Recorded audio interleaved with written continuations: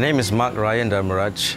I joined WWF Malaysia in 2004 because I believe in the mission to save our biodiversity, especially our tigers.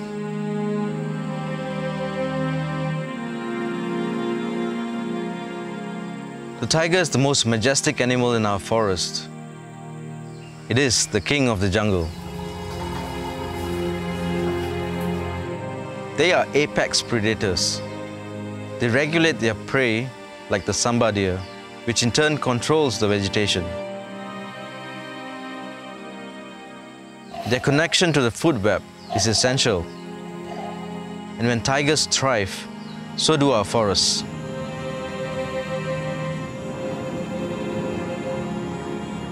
We need tigers more than we think we do. Globally, tiger numbers have plummeted.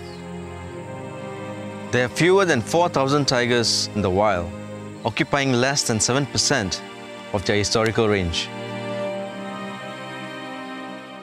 An international pledge was made at St. Petersburg in 2010 at the Global Tiger Summit to double the number of tigers.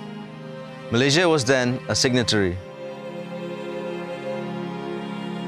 Two years prior, Malaysia had already pledged to double tiger numbers when we launched the National Tiger Conservation Action Plan. With 80 actions, the aim was to go from 500 to 1,000 tigers in our jungles by 2020.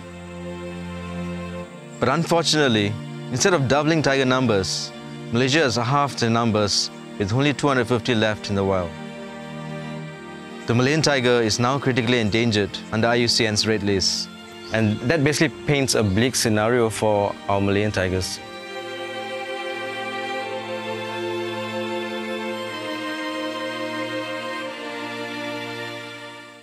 But other countries around the world have been successful in protecting their tigers. In India and Nepal, tiger numbers are increasing. These countries have bigger problems than Malaysia. Their forests are more fragmented, the human population is bigger, and they have major poverty issues. But it is their leaders and their governments that have the will to protect tigers as part of their ecosystem. They ensure there are enough rangers and patrollers, keeping out the poachers. Currently, the main threat for tigers is basically poaching. All around the world, tigers are in high demand for traditional Chinese medicine. Their skin, their teeth, their penis, even their whiskers are used as acupuncture needles. Their black market value is higher than any other species. Malaysia's jungles are now inundated with poachers, not only from local villages, but mainly from outside the country, from Thailand, Vietnam, Cambodia, and Laos. We are allowing foreigners to come to our country to plunder our national heritage. Thousands of snares are being set in our forests, and it's just a matter of time before they wipe out our tigers and other species too.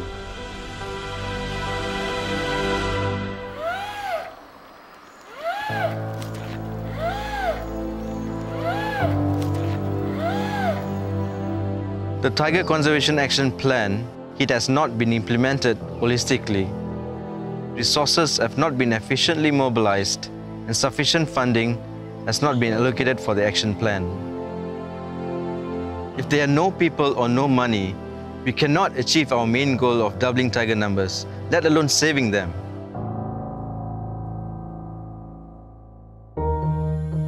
WWF Malaysia committedly supports the government in their efforts to save tigers in the Belum Temengor Forest Complex. And we have our own tiger conservation program with several threat reduction elements.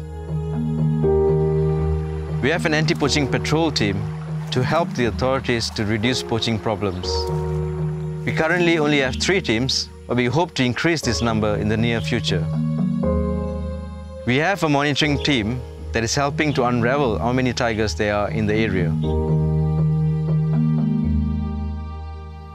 We also have people working on the ground, engaging the local communities, basically to get the Orang Aslis to be the eyes and the ears for the authorities to reduce poaching. In addition, we also monitor the land use in and around the area as well as try to advocate for better management practices within protected areas and sustainable timber production forests. WWF also organizes high-level conferences and dialogues to garner support from all stakeholders that have a role to play to save tigers. In 2017, the Royal Belum Declaration was established in the presence of His Royal Highness Prince Charles, the Prince of Wales, President of WWF UK, and His Royal Highness Sultan Nazrin Shah, the patron of WWF Malaysia, to save tigers by increasing patrols in Belum and to achieve zero poaching in the state by 2020. Royal Belum State Park is also committed to save tigers by registering for Conservation Assured Tiger Standards, or better known as CATS. This is essentially a set of minimum standards to guide effective management of an area for tiger conservation.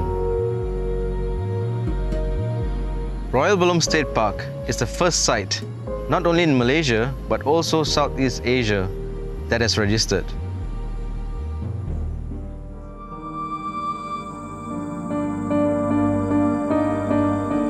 Our tigers are a shared resource. Never has the plight to save them been so urgent. It's now or never.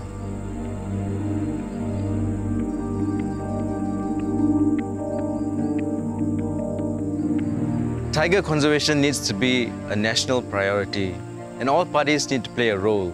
The federal government, state governments, the Department of Wildlife and National Parks, Forestry Department, and even the police and the army, just to name a few.